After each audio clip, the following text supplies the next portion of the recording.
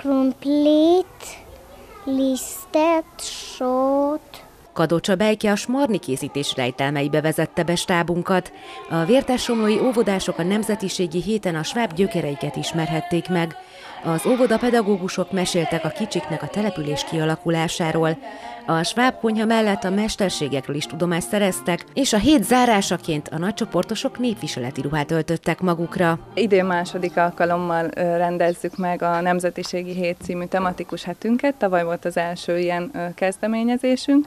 A hétfői nap egy érzékenyítő nap, a filmvetítéssel, mesével meséljük el a gyerekeknek tulajdonképpen kik is azok a svábok, és hogy nekik, illetve nekünk mi közünk van hozzájuk.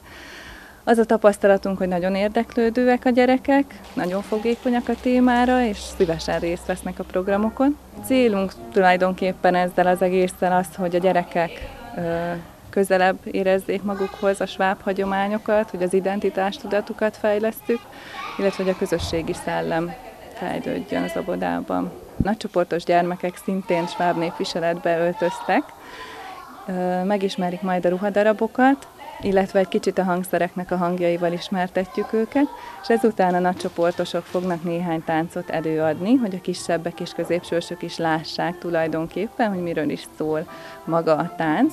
Utána pedig közösen egy kört alkotva próbálunk meg két-három egyszerű koreográfiát megtanítani a kisebbeknek is.